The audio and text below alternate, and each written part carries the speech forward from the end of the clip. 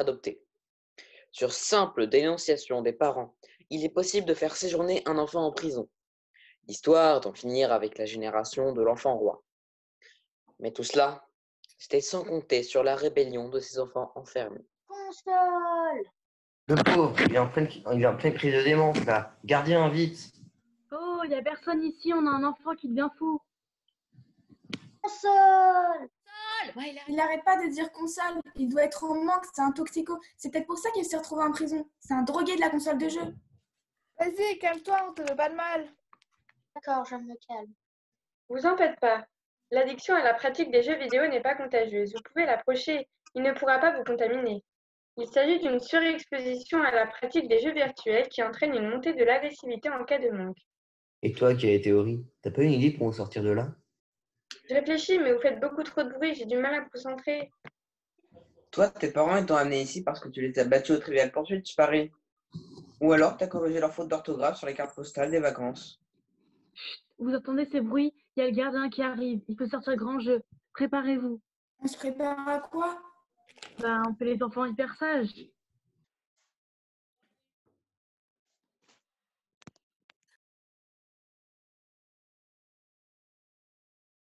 Non Non, non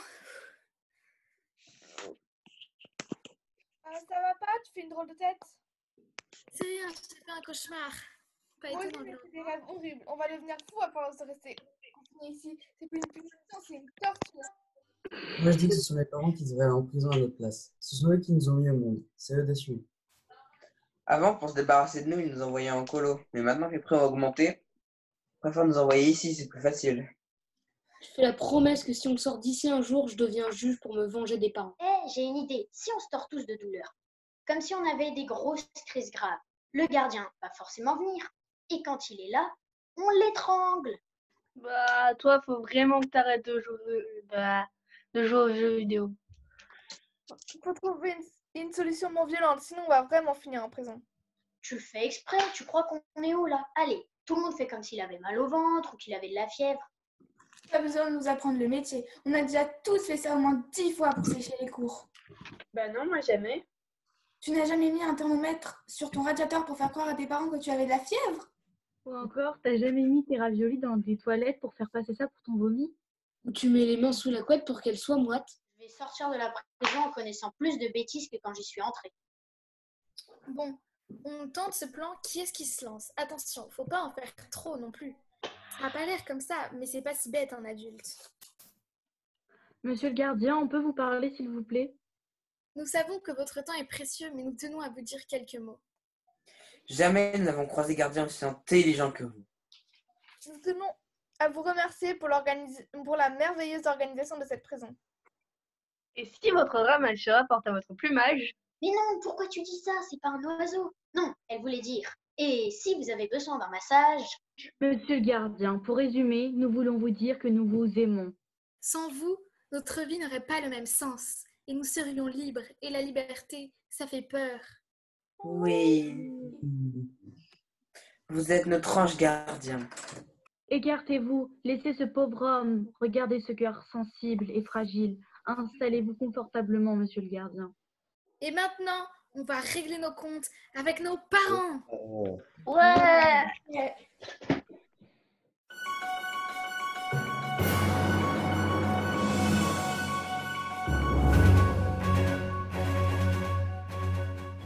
Les faits sont graves. Il est établi que monsieur et madame Duranton refusent à leurs enfants depuis bientôt un mois de manger des frites, des pizzas, des nuggets. Et cela malgré les demandes légitimes de leurs enfants. Madame la greffière, vous n'êtes pas là pour prendre parti, mais seulement pour nous rapporter les faits. Accusé, approchez-vous. Bonjour tout le monde. Quand vous me parlez, vous dites Monsieur le Président. Oui, monsieur Oui, le président. Président. Bon, euh, on écoute vos explications. Vas-y, toi, explique-leur. Je vois toujours aussi courageux.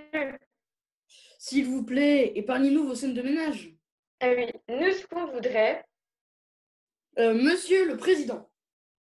Oui, monsieur le président. Nous ce qu'on voudrait, c'est que nos enfants mangent des choses saines. Voilà, c'est ça. Leur donner une alimentation équilibrée. Ben, faudrait savoir, c'est toi au moins qui explique. Si ça continue, ils vont se crêper le chiffonnier, ces deux-là. Je proteste. Monsieur le procureur utilise une formule absurde pour couper la parole à mes clients. La parole est aux accusés. Bon, continuez. Vous comprenez, quand on voit à la télé des Américains qui font du 8XXL, ça fait peur. Un conseil, regardez-moi à la télé. C'est incroyable.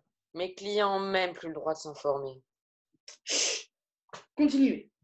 Nous avons favorisé les petits légumes achetés chez de petits producteurs et nous les préparons nous-mêmes pour éviter qu'ils soient bourrés de sel. Pour être tout à fait exact, c'est moi qui prépare et épluche tout. Oh non, je t'aide un peu quand même. Mon mari ne sait même pas où je range les épluches légumes.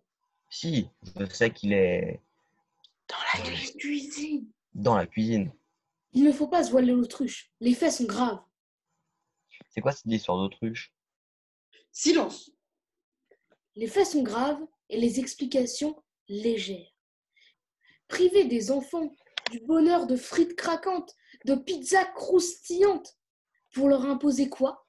Des épinards Des cardons Des courgettes C'est de la maltraitance. Je réclame une peine exemplaire. Je demande à ce que les parents soient privés de chocolat, de bière et d'apéritifs avec leurs amis pendant trois mois. De plus, les enfants devront choisir le menu deux jours par semaine. C'est pas juste, on est innocent. Non, par pitié, pas le chocolat. Pas la bière. Monsieur et Madame Râleur sont ici suite à une plainte de leurs enfants. Ils exercent sur eux un véritable harcèlement en leur répétant tous les jours Penchez votre chambre. Parfois plusieurs fois par jour et sans douceur, les enfants sont traumatisés. Ils demandent que leurs parents soient condamnés. Ils demandent une condamnation exemplaire. Excusez-moi. Quel est donc le crime de mes clients? Ils veulent juste que leur maison reste propre. Je vous laisse imaginer tous ces paquets de gâteaux entamés, pleins de miettes, qui pourraient attirer des rats et donc provoquer des maladies. Bonjour l'exagération. Et pourquoi pas le choléra? Pourquoi pas, en effet C'est un droit et un devoir pour les parents de veiller aux bonnes conditions de vie de leurs enfants. Je réclame donc l'acquittement de mes clients. Euh, accusé, qu'avez-vous à dire? Bah, c'est-à-dire que ça devient compliqué là. Il y a tellement de bordel dans leur chambre qu'il est impossible de rentrer. Mais surveillez votre vocabulaire. Vous êtes des adultes et vous devez donner l'exemple. Oui, bon, je voulais dire désordre, monsieur le président. C'est la cerise sur le bouquet. Ils sont grossiers en plus. Mais pardonnez ma femme, on n'en peut plus. Pour ranger le linge, je dois déblayer avec une pelle pour atteindre le placard. Bon, euh, personne n'a rien à ajouter? Dans ce cas, bah, je vais me retirer pour réfléchir. Je vous présente Monsieur et Madame Colata Colat Zirko. Monsieur Kalata Zirkoskayak. Ah oui, tout de même. Faut prendre son temps pour dire un nom pareil. Stop Continue. Donc, euh, monsieur et madame, Cola, euh, disons les accusés, sont ici suite à une plainte de leur fille. Je suppose qu'elle leur reproche de lui infliger un nom pareil. Vous imaginez la gamine quand faut remplir la fiche à l'école? Vous n'avez pas le droit de vous moquer de notre nom. Il est très célèbre dans notre pays. Et il est illustre. Je proteste. Monsieur le procureur n'a pas le droit de se moquer du nom de monsieur et madame euh, Ka, La, Ta, Ka, Ka, Ko. Bon, mes clients. Euh, Vous avez raison. Pardonnez-nous, monsieur et madame Coca-Cola Light. Bon, enfin, nous sommes des- tous désolés.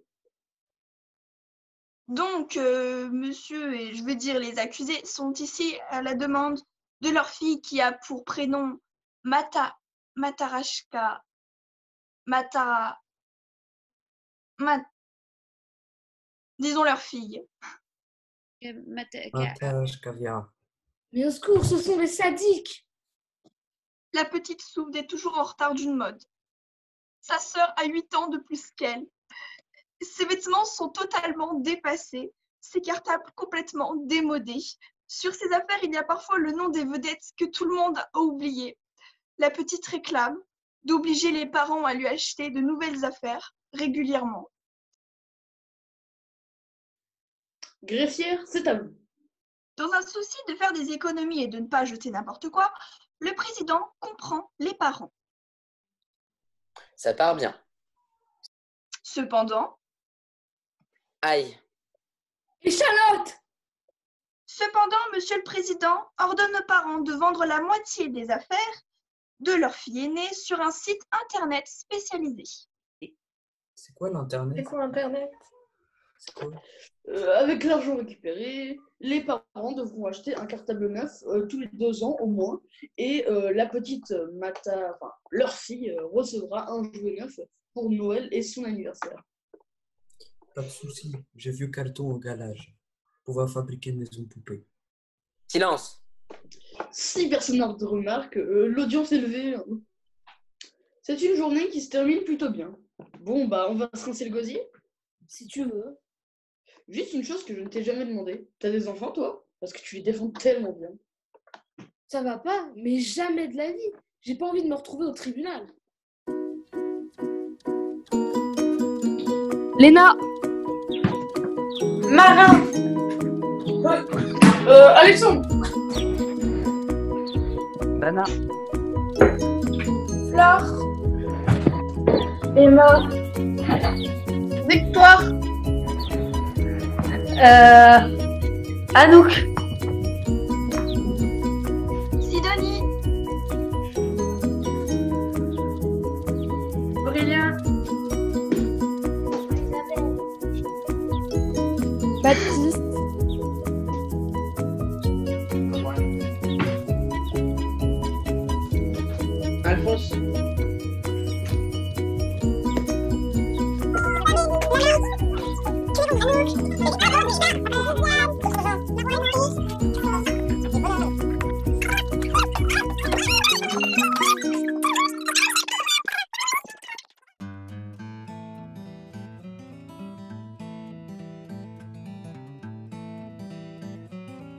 Sans vous, notre... ah.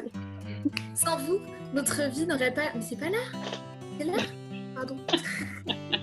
Je n'avais pas compris.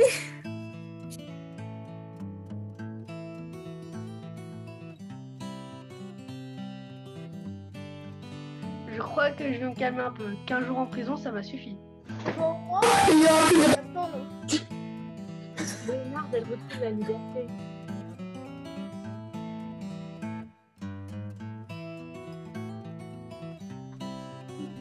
Je pense qu'on peut le refaire. C'était pas ouf, hein.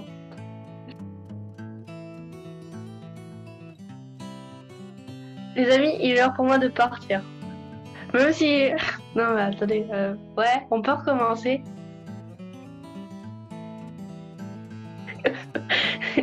ok, c'est bon.